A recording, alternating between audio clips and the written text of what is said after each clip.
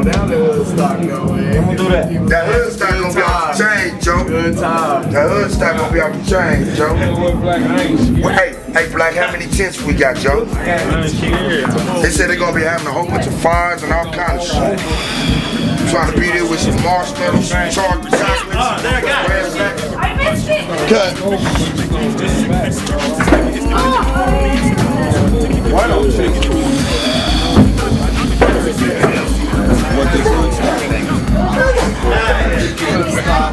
First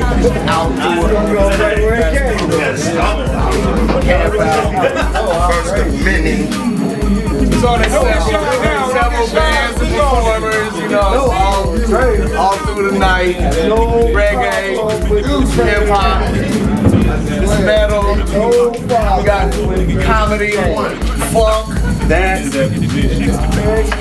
It's all going down. It's all going. Hey, May 31st. Best believe. Straight jacket and the black hood family.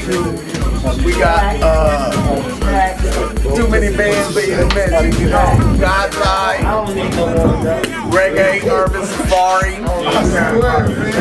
They think of veterans, Urban Safari.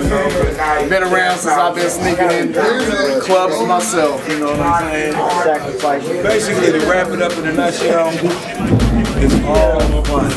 All day. All night.